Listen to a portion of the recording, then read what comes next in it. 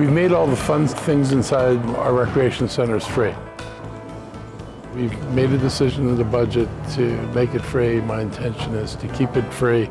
It's a good service for the community, so we hope that A, we get more demand for it, and then that with more demand we get the ability to bring in more equipment. So there's still room to expand.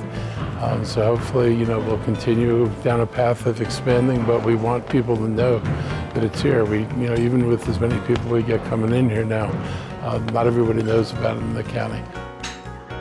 When we started this, we gave out in 22 about 22,000 passes. We're over 100,000 passes now for people in the county, and it's a great opportunity because you have access to the fitness equipment, you've got access to the game rooms, you've got access to the pickleball courts, and so there are lots of opportunities to come up here and stay fit.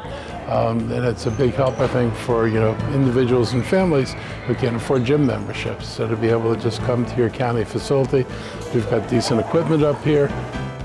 If you had a pass in 2023, you don't have to get a new pass this year. So if you already have a pass, you can keep using it. You don't need to register new. So we just want people to come in, get registered, get passes, use our equipment. You all paid for it.